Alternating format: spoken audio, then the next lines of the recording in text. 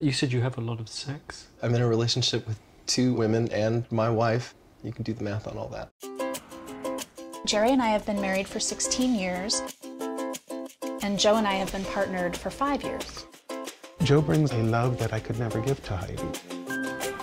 Who goes where, if I may ask? I go in the middle. Nick is on my left, Bob's on the right side. Where there's three people, they're called thruples, or four people, or four pulls, I think. I can't remember after that. Sexually, it's lovely for somebody else to take a turn at the wheel. Trying to be monogamous is more stressful to me than trying to be polyamorous. We love multiple children, we love multiple friends. Romantic love is just another form of love. Would you say that polyamory is not for everybody? Who wouldn't want to have my life?